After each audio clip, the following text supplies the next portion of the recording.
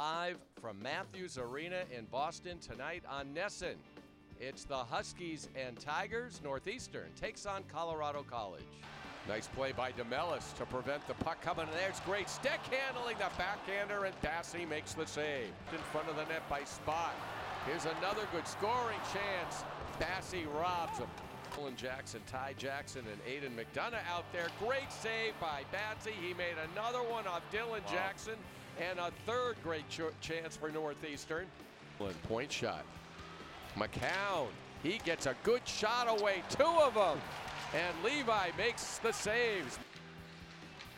Harris behind the net. Ty Jackson comes out front, shot blocked. Have the puck momentarily. Colangelo, good job to get it move out front, and Boy, that left pad of Basse was reaching towards the far post.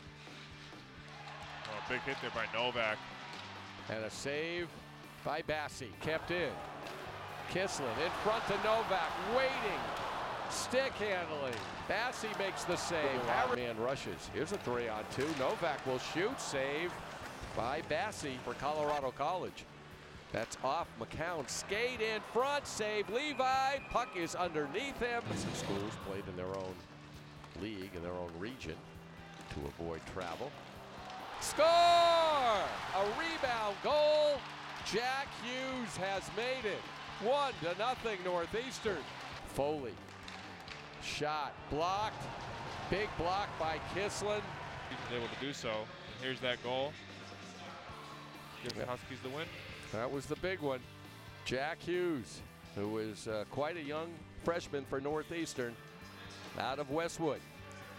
Great job by our crew tonight. Want to thank Connor McLaughlin, our producer, Zach Perry, our director. Our statistician is Ben Weiss. For Adam Reed, this is Rob Rudnick. Our final score Northeastern 1, Colorado College nothing.